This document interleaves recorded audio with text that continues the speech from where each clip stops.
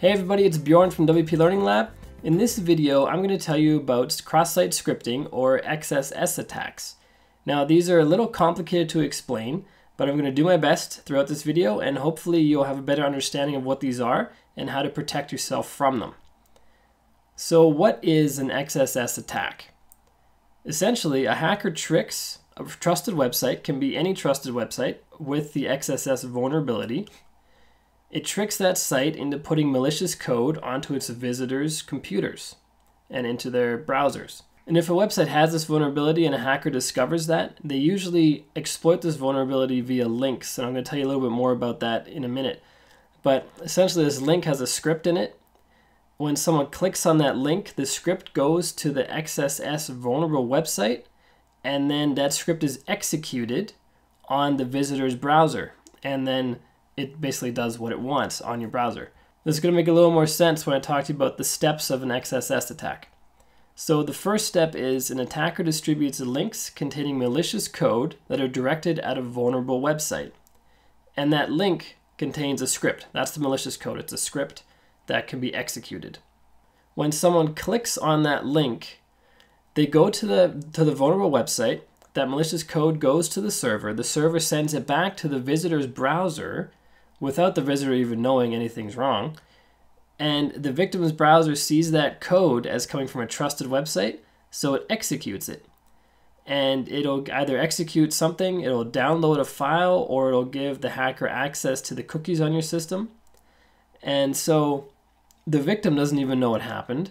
The the vulnerable site doesn't know what happened. The only person who knows it happened is the hacker who gets the information they want. So the big question is who is actually vulnerable? Which websites are vulnerable to this hack?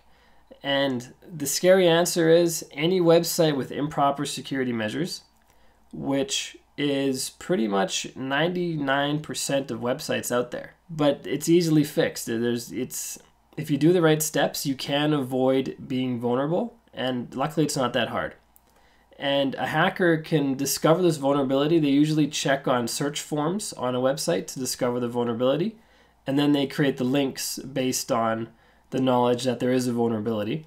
But the vulnerability is most often found in ordinary website search forms. So, how do we protect your site? At the end of the day, a developer needs to fix the XSS vulnerability because often this arises with plugins or themes where they allow code to be executed that shouldn't be executed. They don't have the proper filters on that malicious code that goes into the site, and so they give it back to the visitor, and that's where the malicious code attacks the visitor. So the developers need to fix it, and when they do fix it, they release an update to their themes or their plugins, or even the WordPress core files can be vulnerable. Updates are released very quickly after something like this is discovered. So the best way to protect your site is to always keep your plugins and themes and core files up to date.